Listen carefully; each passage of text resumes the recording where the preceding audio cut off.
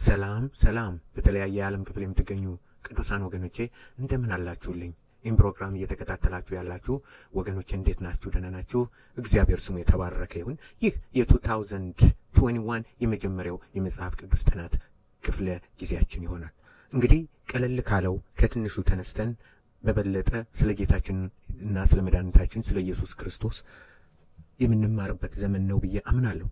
ቀለል ያሉ ትምህርቶችን እስከ ዛሬ ብዙውን ጊዜ እንደምታውቁት ከባድ ትምህርቶችን፣ ጥያቄዎችን፣ አጠራጣሪ አጠያያቂ የሆኑትን ከሙስሊሞች ከኤቲስቶችና ከተለያዩ ሰዎች የሚመጡትን እያቀረብኩኝ እንትን ስል ነበር። አሁን ደግሞ ሲቀስ ብለን ረጋ ብለን ስለ ጌታ ኢየሱስ ክርስቶስ ከትንሹ ዝቅ ካለው ጀምረን እየተማርን ከፍ እያለ እያደገ እስኪሄድ ድረስ የክርስቶስን ማንነት እንማር ብዬ ሀሳብ ይዤ ቀርብ ያለሁ። ይህ በእንግሊዝኛ የማቀርበውን ኮፒውን ነው ለእናንተ ማስተምራችሁ ማለት ነው።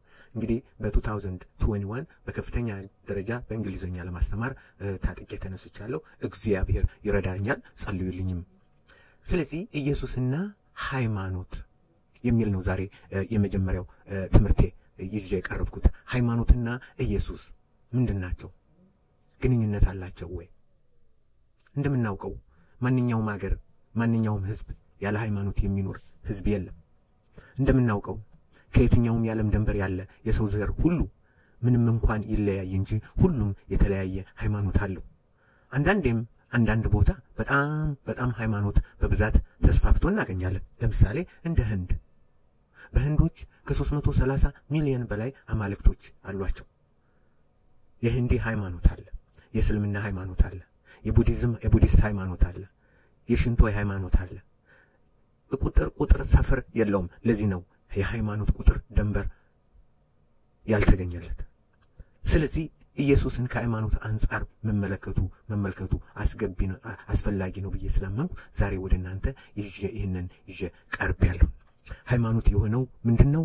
ኢየሱስ የሆነው ምንድን ነው? ሃይማኖት በምን ይጠቅማል? ኢየሱስ በምን ይጠቅማል? የሚሉትን ነገሮች ማስተያየቱ፣ ማመዛዘኑ፣ መረዳቱ፣ ልዩነታቸውን ማወቁ ለአንድ ሰው በጣም ጠቃሚ ነው ብዬ ስላመንኩ ነው ይህንን ዛሬ ይዤው የቀረብኩት። ስለዚህ ሃይማኖት ምንድን ነው? ኢየሱስስ ምንድን ነው? የትኛውን ነው የሚያስፈልገኝ? ላውቅ የሚያስፈልገኝ የትኛውን ነው? ልሰማው የሚያስፈልገኝ የትኛውን ነው? በየትኛው ላይ ቁሜ የትኛውን መያዝ እችላለሁ የሚለውን ጠለቅ ያለ ነገር ሊያስተምረን የሚችል ነው። ስለዚህ ዛሬ ሃይማኖት ሊሆን የማይችለውን ኢየሱስ ግን የሚሆነውን አስተምራችኋለሁ። እግዚአብሔር ስሙ የተባረከ ይሁን። እንደምናውቀው ጌታችን እግዚአብሔር አምላካችን በዘፍጥረት ምዕራፍ አንድ ላይ ፍጥረትን ሲፈጥር አንድ ነገርን ያስተምረናል። ዘፍጥረት ምዕራፍ አንድ ላይ አብረን መጽሐፍን እየከፈትን እናያለን። በዘፍጥረት ምዕራፍ አንድ ስንመለከተው እንዲህ የሚል እናገኛለን። የመጀመሪያው ጥቅስ ነው። በመጀመሪያ እግዚአብሔር ሰማይና ምድርን ፈጠረ ይላል። በመጀመሪያ እግዚአብሔር ምን አደረገ? ሰማይና ምድርን ፈጠረ። ምድርም ባዶ ነበረች፣ አንዳችም አልነበረባትም፣ ጨለማም በጥልቁ ላይ ነበረ፣ የእግዚአብሔር መንፈስ በውኃ ላይ ሰፎ ነበር ይላል። እግዚአብሔርም ብርሃን ይሁን አለ፣ ብርሃንም ሆነ።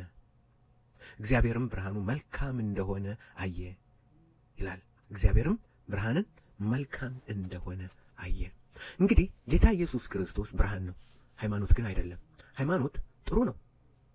ለአንድ ለአንድ ሕዝብ ሃይማኖት በተለያዩ መልኮች ይጠቅማል።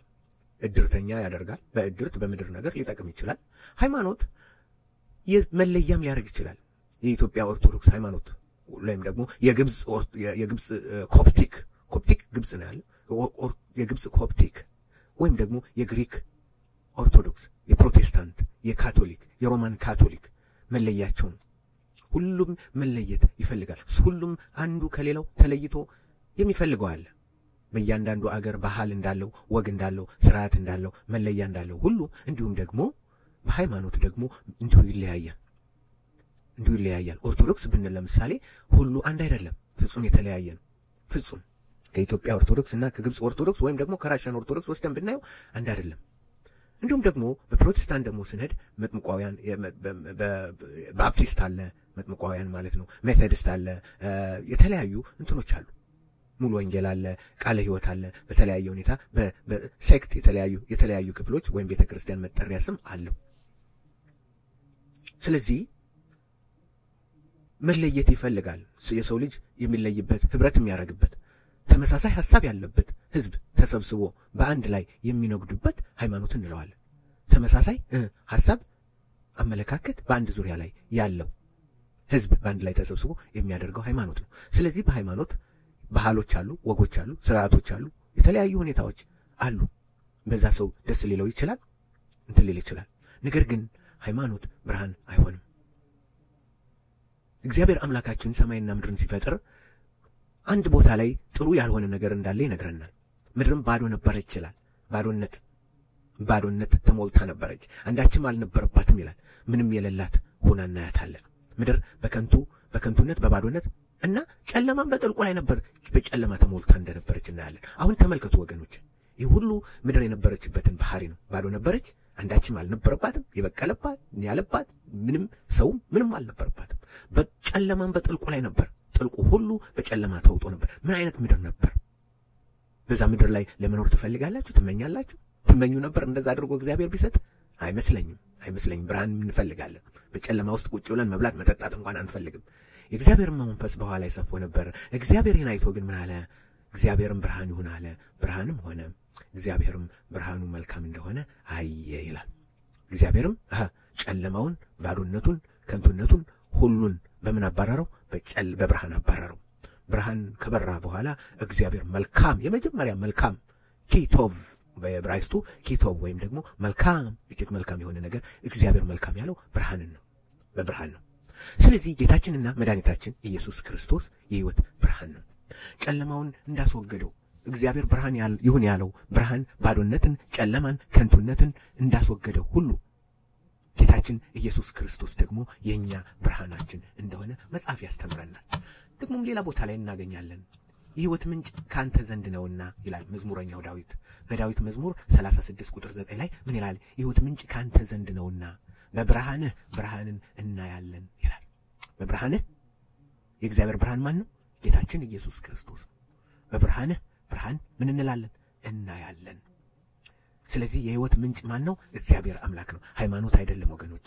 ሃይማኖት ድርጅት ነው። ሃይማኖት እንሰበሰብበታለን። ሃይማኖት ልንመካበት ምንድል ብዙ ልንጠቀምበት እንችላለን። ጨለማችን ግን አያበራም። ሃይማኖት የሕይወት ብርሃን አይደለም። ሃይማኖት ነፍሳችን የውስጣችን ጨለማ አያስወግድም። የነፍሳችንን ስቃይና መከራ አያስወግድም። ጌታ ኢየሱስ ግን እውነተኛ ብርሃን፣ ልብን የሚያበራ ነፍስን የሚያበራ ጨለማን፣ ዲያብሎስን፣ ክፋትንና ተንኮልን ነቃቅሎ የሚጥል ነው ጌታችን። ስለዚህ መዝሙረኛው ዳዊት ምን አለ? በብርሃንህ ብርሃን እናያለን። ብርሃን የምናየው በማን ነው? በአንተ ነው ይለዋል እግዚአብሔር። እግዚአብሔርን መዝሙረኛው ዳዊት በብርሃንህ ብርሃን እናያለን ስለዚህ ከእርሱ ጋር አብረን ልናይ ይገባናል። ከእርሱ ጋር እንዲሁ እንደ ዳዊት እንደነበረው እኛም ደግሞ እንዲህ ልንል ይገባናል። በመጽሐፍ ቅዱስ በዮሐንስ ስንመለከት የዮሐንስ ምዕራፍ አንድን እንዲህ እናየዋለን። በመጀመሪያ ቃል ነበር፣ ቃልም በእግዚአብሔር ዘንድ ነበር። ስለ ጌታ ስለ ኢየሱስ ነው የሚናገረው። ቃልም እግዚአብሔር ነበር። ይህ በመጀመሪያ በእግዚአብሔር ዘንድ ነበር። ሁሉ በእርሱ ሆነ፣ ከሆነውም አንዳች አልሆነም። ያለ እርሱም ሕይወት ያለ እርሱ አልሆንም ከሆነ አንዳች ያለ እርሱ አልሆነም። በእርሱ ሕይወት ነበረች፣ ሕይወትም የሰዎች ብርሃን ነበረች። በሱ በመስቀል ላይ ይዞልን የመጣን በመስቀል ላይ ያስቀመጠልን በመስቀል ላይ የሰጠን ምንድን ነው? ሕይወት ነው፣ መብራት ነው። ጌታ ኢየሱስ ክርስቶስ ጌታ ኢየሱስ መብራት ነው። ብርሃን በጨለማ ይበራል፣ ጨለማም አላሸነፈውም ብርሃን በጨለማ ይበራል፣ ጨለማውም አላሸነፈውም ይለናል የእግዚአብሔር ቃል። ስለዚህ ጌታችን ኢየሱስ ክርስቶስ እውነተኛ ብርሃን ነው። ጨለማችን የሚያስወግድ፣ ክፋታችን የሚያስወግድ፣ ነውራችን የሚያስወግድ ነው። ሃይማኖት ግን አይደለም። ሃይማኖት ያን ሊያደርግ አይችልም። ስለዚህ ኢየሱስ ይበልጣል ብዬ እመክራችኋለሁ። መጽሐፈ ስምንት አስራ ሁለት ዮሐንስ ወንጌል ስምንት አስራ ሁለት እንዲህ የሚል እናገኛለን። ደግሞም ኢየሱስ እኔ የዓለም ብርሃን ነኝ፣ የሚከተለኝ የሕይወት ብርሃን ይሆንለታል እንጂ በጨለማ አይመላለስም ብሎ ተናገራቸው። እኔ የዓለም ብርሃን ነኝ፣ እኔን የሚከተለኝ ሁሉ የሕይወት ብርሃን ይሆንለታል እንጂ በጨለማ አይመላለስም።